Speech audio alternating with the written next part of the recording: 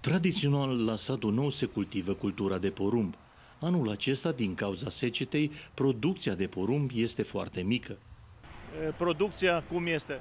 Po de la, ce știu eu, de la 7-800 de, de kg până la 2500. N- N-am auzit să aibă cineva mai mult. Acum tot depinde și de ce parce de hotar, că undeva o ploiat, a fost ploaie, dar parcea mare ei a fost lăturile așa la început seacete, mai mult cu seacete decât cu ploi.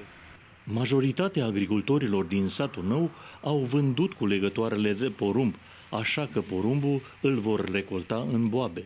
O să recoltați anul acesta și în știuleț și în boabă? Nu, nu mă îmboabă, că ia că, uitați, ăsta nu merge până, până combaie, tot îl, Îl trage, îl trage în jos, îl aruncă jos, nu, nu se poate.